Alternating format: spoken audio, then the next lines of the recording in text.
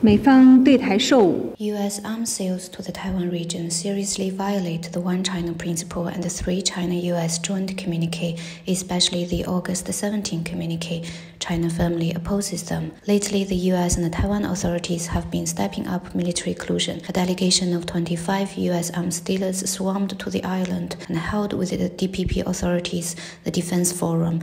It is further proof that the U.S. is turning Taiwan into a powder keg, which only spells trouble for our Taiwan compatriots, and they have made clear their position. As the forum was being held, people from all walks of life gathered nearby to protest the warmongers peddling conflicts, oppose those soliciting U.S. support for independence, and opening the door to the devil, call on young people in Taiwan to refuse to be enlisted and voice support for one China on both sides of the Taiwan Strait and the cross strait peace. The DPP authorities need to hear these voices and immediately stop trading our Taiwan compatriots' fundamental interests for selfish gains. We once again urge the U.S. to abide by the One China principle and the Three China-U.S. joint communique, stop arms sales to and military contacts with Taiwan, and stop creating factors that cause tensions in the Taiwan Strait. Chinese side will take strong and resolute measures to firmly defend our sovereignty and security interests. Any external forces that interfere in China's internal affairs and undermine peace and stability in the Taiwan Strait shall bear their consequences and pay for their erroneous acts.